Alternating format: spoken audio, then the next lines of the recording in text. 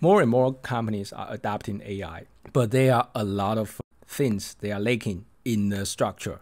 For example, AI architect, AI engineers. But compared to AI engineers, AI architects are more lacking. It's almost impossible to find in the current. So today I'm going to talk about why AI architects is important and why how you can prepare your your skills for that, so that you probably can be better better in a better position in the future market. So before we dive in, if you would like to receive more technology, especially about AI analysis like this, don't forget to subscribe. Your subscription is my greatest encouragement to make more videos like this. So without further ado, let's dive right in.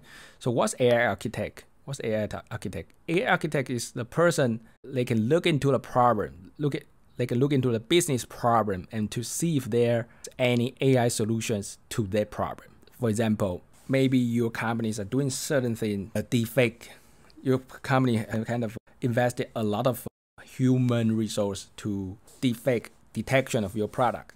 Then you find it's really, really expensive. Then you don't know if AI can help. So that is where the AI architect come in, comes in, and come into they will come in to say, oh, your products actually your defect detection can be done by computer vision, which is we can train deep, deep learning model to to check to take just to, to take your the photo of your product and send it to the model. Model will tell you if this product is uh, flawed or is on tech or is perfect, so that you don't need to hire so many people to do that. So this is and why we don't really have AI architect now is because now a lot of companies they they have actually a lot of problems. They potentially can be solved by AI, but they don't have not enough knowledge about AI, about data science, and also the data science data scientists they have uh, a lot of uh, knowledge about AI, but they don't know the, the problem they in, in a very specific domain. So that's what's lacking now. And also AI architects just not not only cannot just have the data science knowledge. They also need to have some experience of how to apply AI, apply latest machine learning algorithms to solve the problems. So this is the, what we currently lacking. We currently have a really big gap of academic and the industry. And in the future, we definitely need to bridge this gap to bring up the, a lot of existing technology to the all industries to make their operation more efficient. So that's why AI architects are important. And uh, they will be very, very, very in demand in the future. It's actually very in demand now, but it will be even more in demand in the future because we are in a transformation of maybe you can call it industrial 4.0, but I, I would just say we are transforming from only big companies using AI to many every company will be using AI in the future. So who will allow the who empower the small companies to use AI? The person will be an AI architect. So that's how this is important and how you can prepare for that. Definitely machine learning, machine learning knowledge, deep learning, they kind of foundation knowledge that you need to have. You need to study that. You need to know how to program. You need to be a data science first.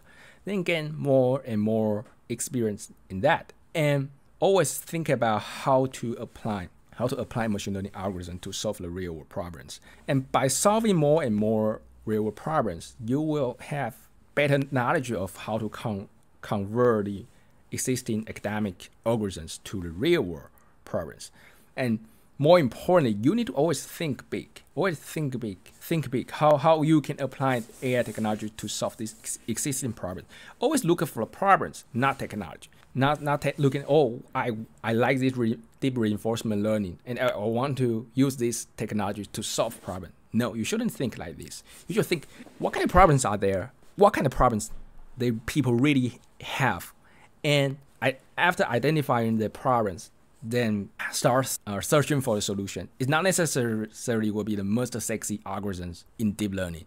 It may be very simple like logistic regression, but whatever algorithms that can solve the problems, they will be the best one. So training this kind of thinking will help you, will help you be a very very good AI architect. So now nowadays, like most people people in the academic, the people like insertion of uh, tuning maybe algorithm for 0.5%, 1% more accurate. But in the real world, sometimes in a lot of applications, increasing the algorithm accuracy for for 0.5% is not that important. It's actually more important how you can break down the problems, how you can use the correct algorithm to solve that. So that's what we actually need right now. So I will encourage you to practice to, to acquire these kind of skills. Okay, so that's a lot for today. And if you would like to receive more AI trends analysis, AI technology analysis, analysis, don't forget to subscribe. And other than that, take care. I will see you next time.